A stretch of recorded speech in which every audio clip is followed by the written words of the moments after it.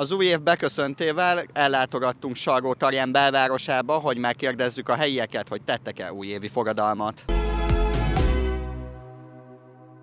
Szokott-e újévi fogadalmat tenni? Nem szoktam, mert az a véleményem, hogy igaz, hogy ez egy határkő, a régi évnek vége, az újnak a kezdete, és ilyenkor talán könnyebb tenni fogadalmat, de nem ezen múlik, mert január 3-ától is kezdhetek én új életet, vagy akár április 1-től.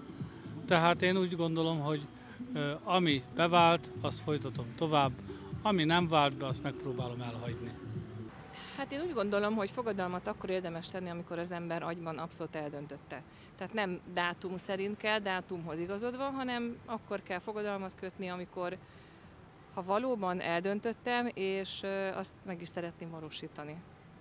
Tehát csak így, hogy most éppen én december 31-e van, és fogadalmat szeretnék tenni, nem érdemes, mert az nem fog megvalósulni. Csak akkor ez igazán belülről jövő, és, és tényleg egy, egy olyan gondolat, ami, ami fontos, és mindenképp meg szeretné valósítani.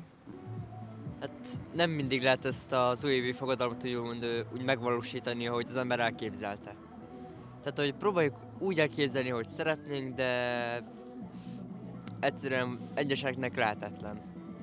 És egyébként te minden évben szoktál az év utolsó napján fogadalmat tenni? Hát val- valamelyik évben szoktam, valamelyikben nem igazán.